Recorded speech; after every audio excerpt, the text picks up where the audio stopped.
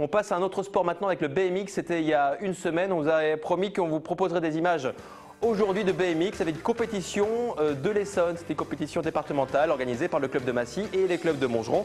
Donc pas de surprise, ce sont que des clubs, des euh, coureurs de Massy et de Montgeron qui l'ont emporté. donc deux clubs importants en Essonne. On vous rappelle que le BMX avait offert deux médailles, dont un titre olympique à la France en 2008 à Pékin.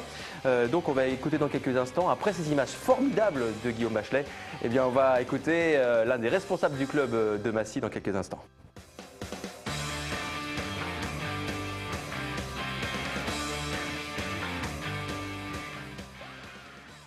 C'est le championnat d'Essonne. Euh, ça faisait depuis 1994 qu'il n'avait pas eu lieu. On a relancé euh, le club de Montgeron cette année et euh, en créant des catégories novices pour les jeunes qui n'ont jamais fait de compétition, pour les amener un petit peu à la compétition. Avant, il y avait un classement des clubs qui était établi.